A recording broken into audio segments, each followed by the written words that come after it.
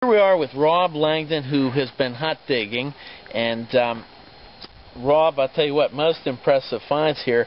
Uh, by cell phone, we found out that you had dug up this 1855 half dollar, and then we got a report that you had uh, found what I'm going to call a uh, hidden Civil War treasure trove, which was in a hot. You actually found a coin purse. Well, Rob, why don't you tell us how you found that, and um, you know what the circumstances were.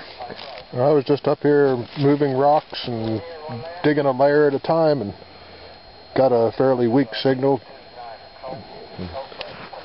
Got Chris to check it with his machine, and he got a weak signal, but we dug it anyhow. There it is. There it is, a change purse that is just bursting with Civil War era coinage. Between rocks. It was stuck between rocks. What do you speculate what the reasons were that that was there and why it was not uh, recovered by its owner? I have no idea. I mean, that would have been a significant uh, amount of money back in the Civil War days. Unless it was an officer who got killed or who knows. Yeah, because, uh, I mean, if we look at the side of that, we're seeing a lot of silver.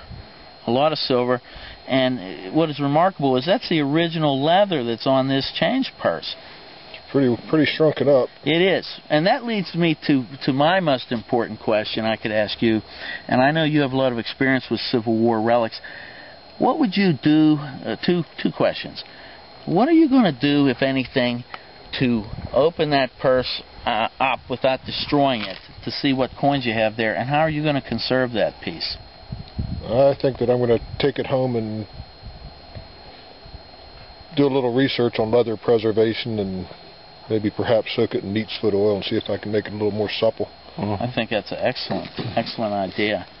And it looks like the rim of it's gold, doesn't it? I think it is. Yeah. You think there's a gold coin in there? No, no, no, gold. Uh, oh, gold, the uh, uh, yeah, that might be. You know what? That might be a brass frame that might have been nickel plated at one time.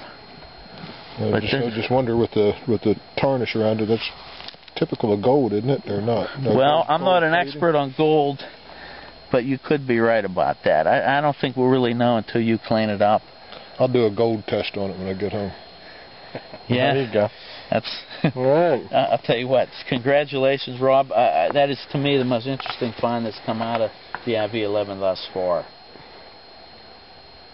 There we go. Thank you. Hey, thank you. Congratulations. Thank you. Yeah, congratulations. I, I'll tell you.